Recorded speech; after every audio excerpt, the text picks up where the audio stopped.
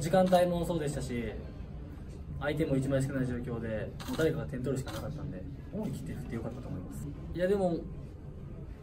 その別に干されてたわけではないですし、まあ、チームのやりたいことと僕がイメージしてたことをこのすり合わせる期間だったんで、まあ、その出れてない時間もまあ外から見ててあこういうプレーしたらこの選手はこういけるなとかいう風な、まあ、僕にとってはまあ勉強みたいな時間だったんでまあそれが今日のピッチに結果につながってよかったなと思います。うちの選手は一人一人攻撃の前の選手のクオリティは高いんで、まあ、こういう展開になったら、まあ、ベンチの選手でも点取れる選手はたくさんいますし、まあ、それこそ今日取ったかけるとか途中から出てきた和樹さんとかっていう途中から出てくる選手のクオリティも高いので、まあ、そこで取れなくても、まあ、僕的には全然慌てなくていいかなというふうに思ってたんで、まあ、みんな信頼して今日勝てたのでよかったなと思います。でうちはクリアソンさんに負けてで相手は勝ってで今日の結果次第では、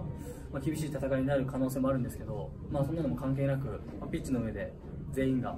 出てない選手も出てる選手もハードワークして、まあ、勝ち点3を取りに行くだけなんで、まあ、そのサポーターの皆さんの声も声援も僕たちの背中を押していただけますし、まあ、それに応えるだけかなと思います、まあ、まあご存知の人もいると思うんですけど僕はなかなかチームが決まらない中で、まあ、サッカーをできないっていう苦しい時間があったんで、まあ、それを表現するのは、まあ、ピッチで味わった悔しさはこういうところで返すしかないんで、まあ、人一倍その思いは強いんじゃないかなと思いますし、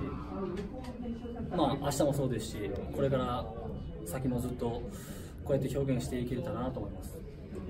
練習参加をさせていただいたり、まあ、そう毎日毎日させていただいてるわけじゃなかったんでその、まあ、自分で体す体を動かす時間もありましたし、まあ、でもその時間も、まあ、今日こういうふうに結果が出て、まあ、無駄じゃなかったかなっていうふうに思う思うので、まあ、よかったかなと思います。まあベテランの人が